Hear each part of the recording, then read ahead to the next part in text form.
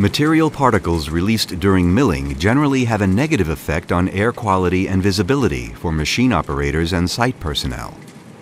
To counter this, Wirtgen has developed a system for front-loading cold milling machines that is unique worldwide, the Vacuum Cutting System VCS. Here's how VCS works in practice. During milling, fine material particles are formed in the milling drum unit. Additional injection of water binds most of these particles. The particles are extracted by applying negative pressure, and via the short conveyor channel and two hoses, they are sent straight to the long conveyor.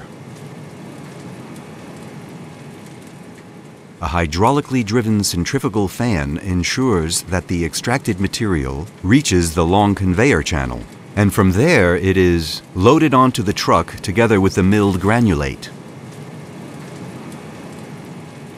Immediate vacuum removal of the particles ultimately ensures a clearer view of the milling edge and also sharply improves visibility during work at night.